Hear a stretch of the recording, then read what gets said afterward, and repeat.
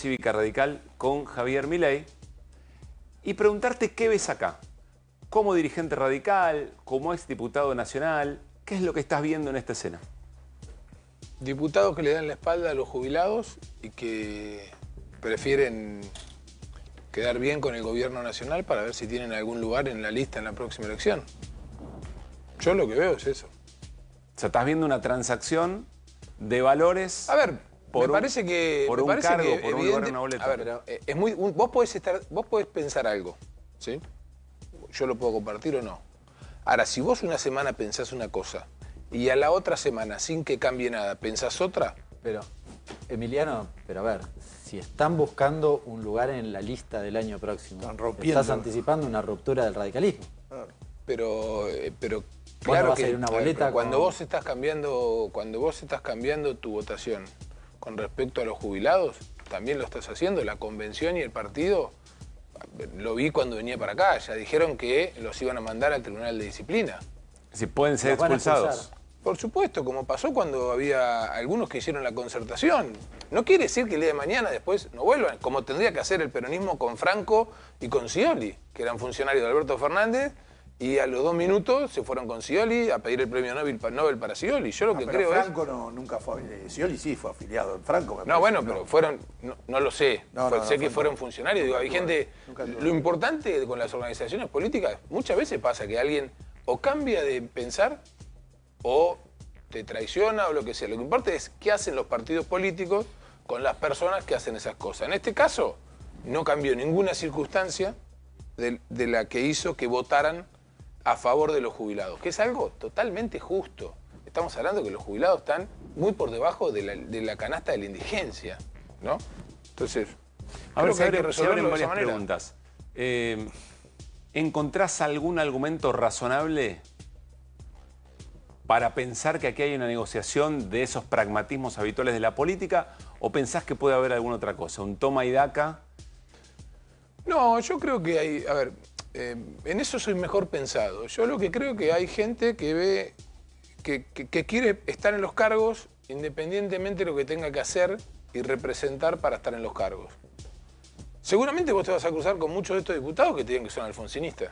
Ahora, vos no podés estar eh, en esa foto, si decís que sos alfonsinista, con las cosas que dice mi ley Alfonsín. ¿No? No todo no se puede en la vida. Hay algunas cosas que tenés que dejar para, para poder hacer otras.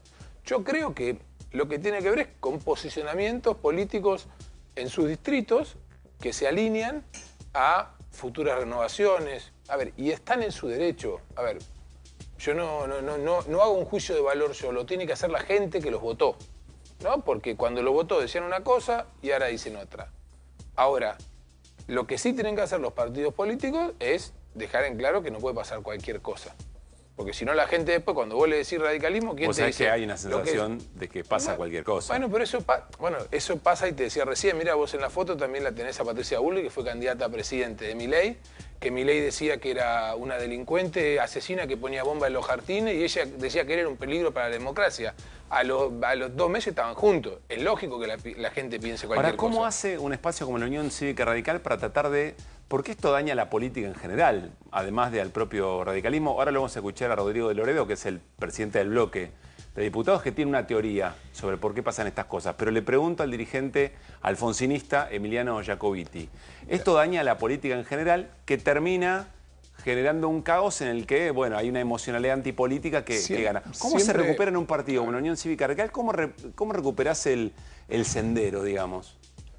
Yo creo que lo tenés que, que recuperar. A ver, estas cosas siempre dañan a la política, porque dañan a la credibilidad de las instituciones, ¿no? Pasó en su momento con Borocotó, digamos, pasa muchas veces, digamos, pasa con el diputado, el senador que dice que viene, que viene a combatir la casta, que después te dice que los asesores los tienen porque si quiere ser gobernador, digamos, pasa y pasa en todos los espacios políticos, yo creo que es por un problema de degradación de la sociedad. Ahora, creo que lo que, ten- lo que, lo que los partidos tienen la responsabilidad de hacer es dejar en claro la sociedad qué representa. ¿Y qué debería hacer entonces el, el radicalismo con, con estos Si diputados? votan de esta manera, si cambian el voto de esta manera, los tendría, para mí, que apartar del bloque, eh, que mandar a la comisión de disciplina y expulsarlo del partido. Apartar del bloque quiere decir no son parte del bloque. A ver, vos no podés eh, cambiar de una manera para la otra en un tema tan sensible como ese de los jubilados. No, no hubo nada en el medio. No es que, bueno, yo me enteré que en el fondo el costo fiscal era mucho mayor que el que habíamos planteado.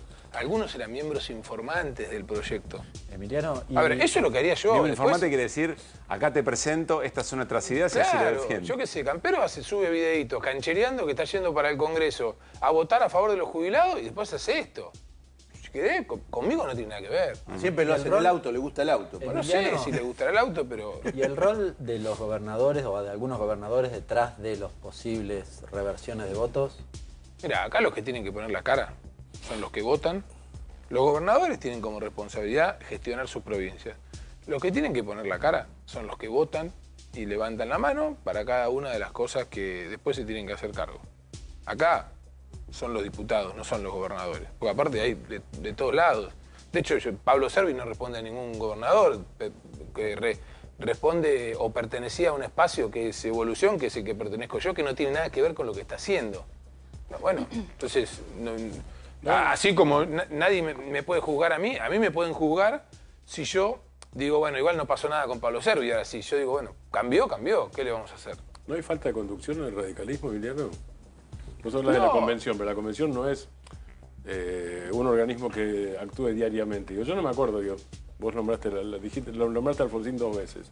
Yo no recuerdo que en los seis años de mandato de Alfonsín hubiera, tal vez me equivoque, pero me parece que no hubo ni siquiera eh, libertad de conciencia y no estoy a favor de la libertad de conciencia. eh, Lo digo, digo, estoy más bien a favor de la disciplina.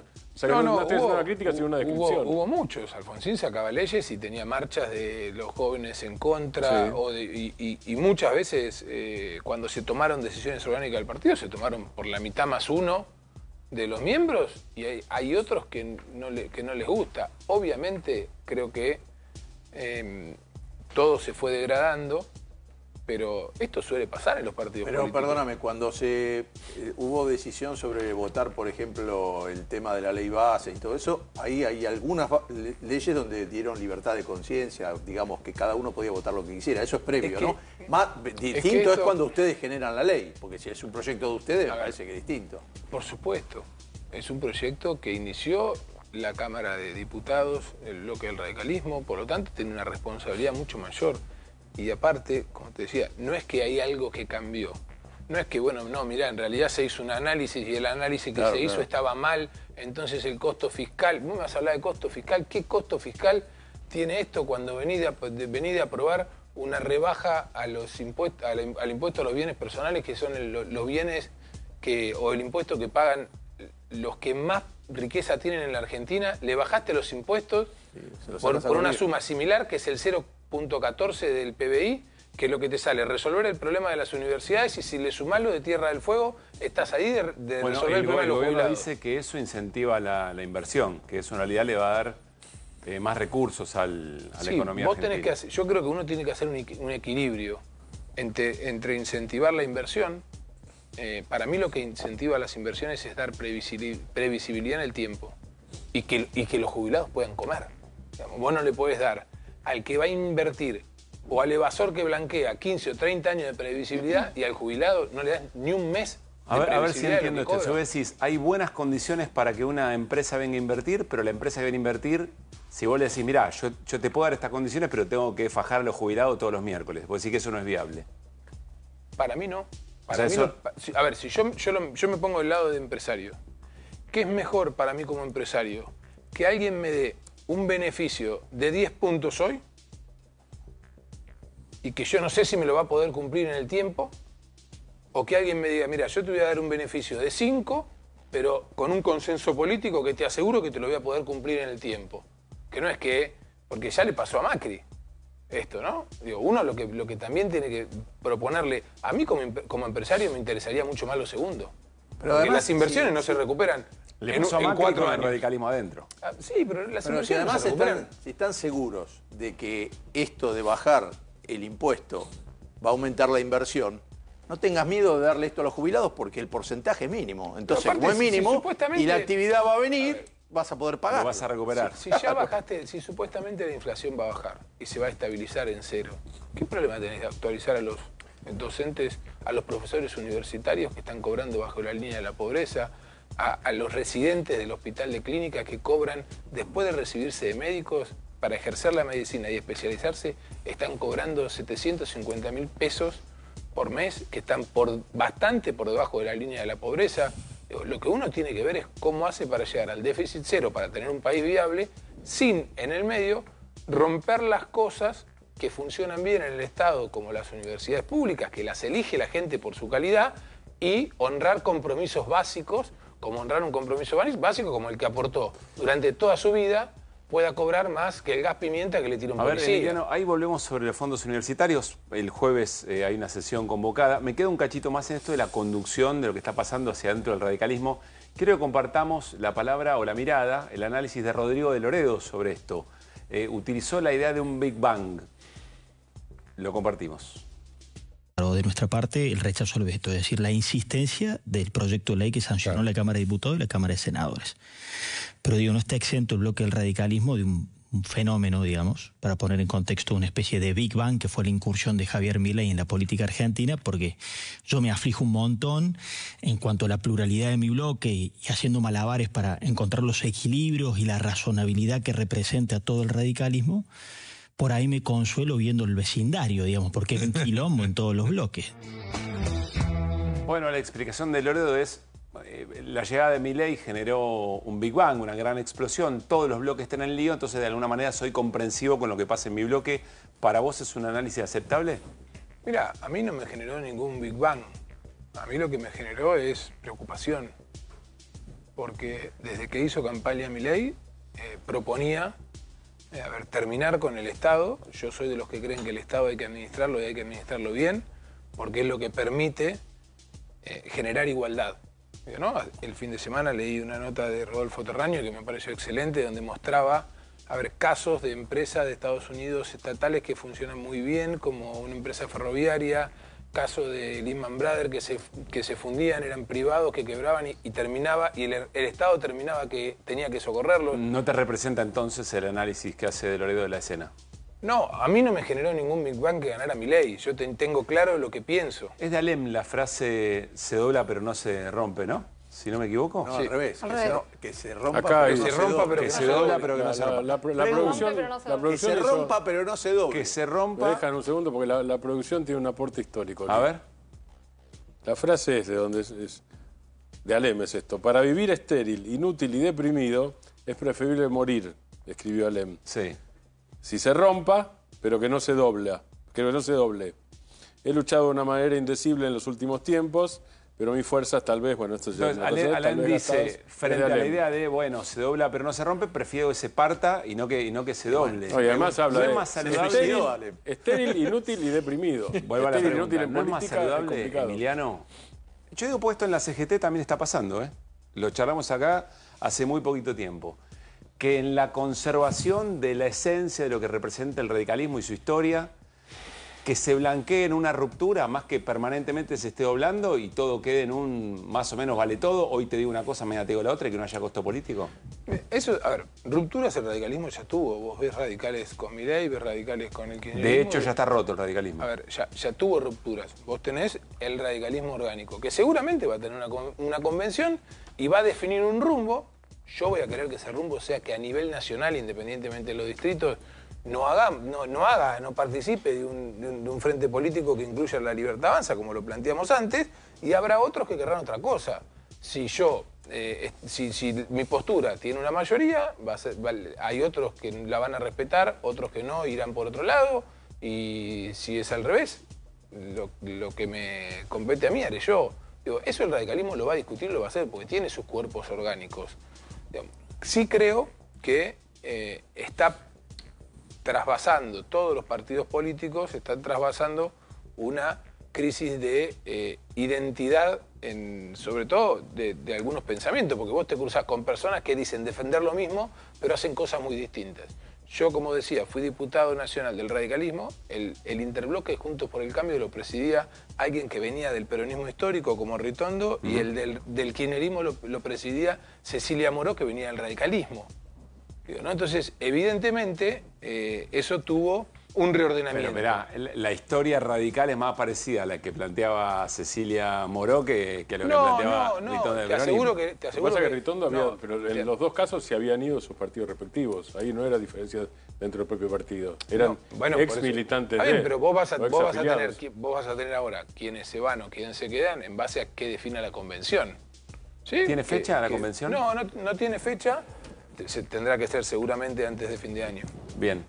Te quiero preguntar, bueno, información, el gobierno cree que tiene los votos para evitar la insistencia con el proyecto de ley. Si son solo los cinco que se vieron en la foto, no alcanza, el gobierno tiene que seguir buscando. Hay quien dice, te lo pregunto, otros diputados o diputadas radicales que también se iría con este grupo de cinco, pregunta para cerrar el tema. Mira, a mí no me consta que tenga más votos. Sí los tiene.